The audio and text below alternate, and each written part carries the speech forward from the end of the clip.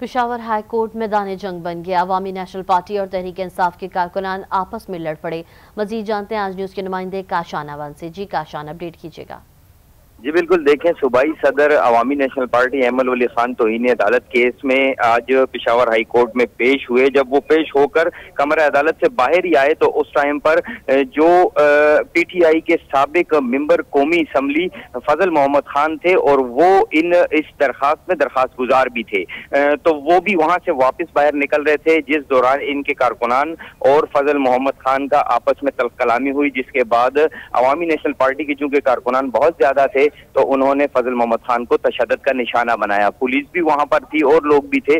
बीच बचाव कराने की काफ़ी कोशिश की गई, लेकिन फजल मोहम्मद खान को फ़ौरन जो अदालत का अहाता था, उससे बाहर निकाल दिया गया। अवामी नेशनल पार्टी और तहरीक इंसाफ के कारकुनान आपस में लड़ पड़े। अपडेट करे थे काशान अमान बहुत शुक्रिया आपका।